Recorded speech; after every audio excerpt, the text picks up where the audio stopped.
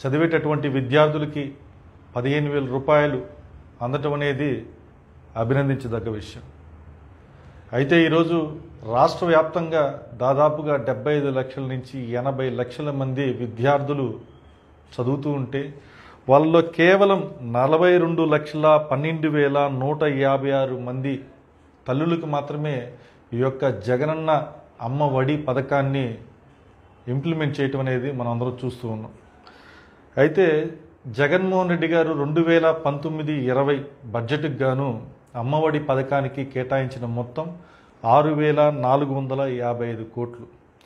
ఈరోజు రాష్ట్ర వ్యాప్తంగా అరవై ఒక్క వేల రెండు వందల డెబ్బై ఒక్క పాఠశాలలు అదేవిధంగా మూడు వేల ఎనభై మూడు జూనియర్ కాలేజీలు మొత్తానికి కలిపి నలభై రెండు లక్షల పన్నెండు వేల నూట ఎనభై ఆరు మంది తల్లులకు ఆరు వేల మూడు వందల పద్దెనిమిది కోట్లని ఆన్లైన్లో వారికి జమ చేస్తున్నారు. అయితే దీంట్లో ముఖ్యంగా ప్రధానంగా ఎంతో మంది లబ్ధిదారులు కూడా ఉండి రాష్ట్ర వ్యాప్తంగా అంటే దాదాపుగా ఒక పదిహేను లక్షల నుంచి ఇరవై లక్షల మంది విద్యార్థుల తల్లిదండ్రులు ఈరోజు మాకెందుకు జగనన్న అమ్మఒడి పథకం అందలేదని చెప్పేసి కరెంట్ ఆఫీసుల చుట్టూరు మీ సేవల చుట్టూరు రెవెన్యూ ఆఫీసుల చుట్టూరు అధికారుల చుట్టూ ఎమ్మెల్యేల చుట్టూ ప్రదక్షిణలు చేస్తున్నా కూడా వాళ్ళని పట్టించుకునేటటువంటి పరిస్థితి ఈరోజు రాష్ట్రంలో లేకపోవడం అనేది చాలా బాధాకరమైనటువంటి విషయం. కాబట్టి ఈరోజు నెల్లూరు జిల్లా విషయానికి వస్తే నెల్లూరు జిల్లాలో నాలుగు లక్షల యాభై రెండు వేల ఎనిమిది వందల తొంభై ఆరు మంది విద్యార్థులు చదువుతూ ఉంటే దాంట్లో అర్హులుగా మూడు లక్షల ఇరవై వేల ఏడు వందల అరవై ఆరు మంది ఉంటే ఆధార్ కార్డులో తప్పులు ఉన్నాయని రేషన్ కార్డులు లేవని నాలుగు చక్రాల వాహనం ఉందని ఇలా అనేక అనేక కారణాలతో ఇన్కమ్ ట్యాక్స్ ఉందని తొంభై మూడు వేల ఏడు వందల అరవై ఐదు మంది తల్లుల్ని పథకం నుంచి తొలగించడం జరిగింది.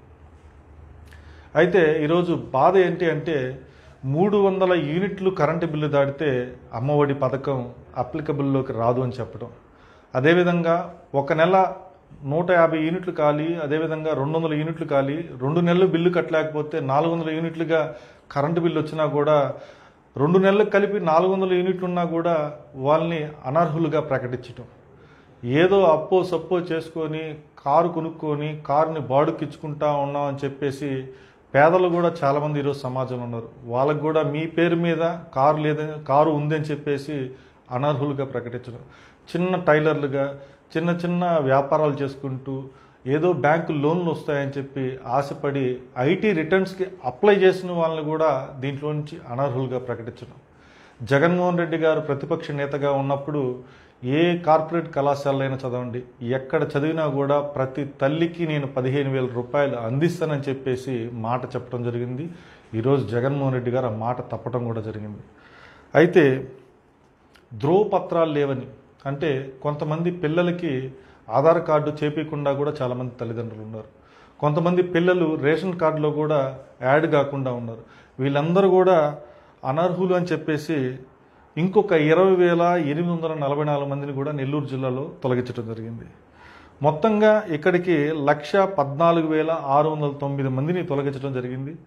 కొత్తగా పెళ్ళిళ్ళైన వాళ్ళు కొత్తగా రేషన్ కార్డులో లేని వాళ్ళు నిరుపేదలుగా మేము అని చెప్పేసి వాళ్ళు బాధల్ని వాళ్ళ వాళ్ళ ప్రయత్నాలను వాళ్ళు చేసుకున్నా కూడా పదిహేడు వేల ఐదు వందల ఇరవై ఒక్క మందిని కూడా పక్కన పెట్టడం జరిగింది. అంటే మొత్తంగా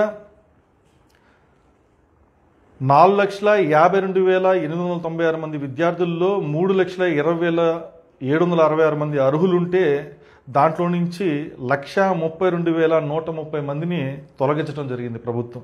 కేవలం నెల్లూరు జిల్లాలో రెండు లక్షల పదకొండు వేల మూడు వందల అరవై మందికి మాత్రమే అమ్మఒడి పథకాన్ని అప్లై అయ్యే విధంగా ఈరోజు ప్రభుత్వం నిర్ణయం తీసుకుంది. ఈరోజు సచివాలయాల పేరుతో గ్రామ వాలంటీర్ల పేరుతో ప్రజలకి సేవ చేయాలని చెప్పి గ్రామ వాలంటీర్లు ఉంటే ప్రవేశపెట్టేటటువంటి జగనన్న జగన్మోహన్ రెడ్డి గారు ప్రవేశపెట్టేటటువంటి పథకాలని అందకుండా ఏ విధంగా చేయాలని చెప్పి ఈరోజు గ్రామ వాలంటీర్ల వ్యవస్థ సచివాలయ వ్యవస్థ పనిచేస్తుందని చెప్పి ఇక్కడ మనకు అర్థమవుతోంది.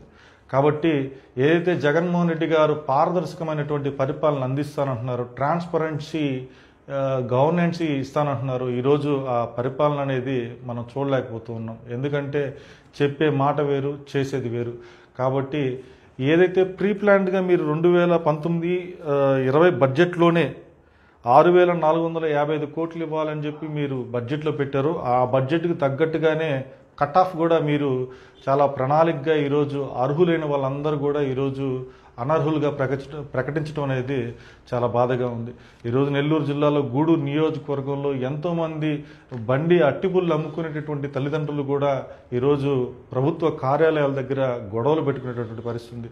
కాబట్టి ఫర్దర్గా కూడా ప్రభుత్వం దీని మీద ఆలోచించి ఏదైతే నిజాయితీగా ఎవరైతే అమ్మఒడి పథకానికి అర్హులు ఉన్నారో వాళ్ళని పూర్తిగా దీంట్లో భాగస్వామ్యం చేసి వాళ్ళందరికీ కూడా లబ్ధి చేకూర్చే విధంగా ప్రభుత్వం పనిచేయాలని చెప్పేసి జనసేన పార్టీ తరఫున డిమాండ్ చేస్తున్నాం. జై హింద్.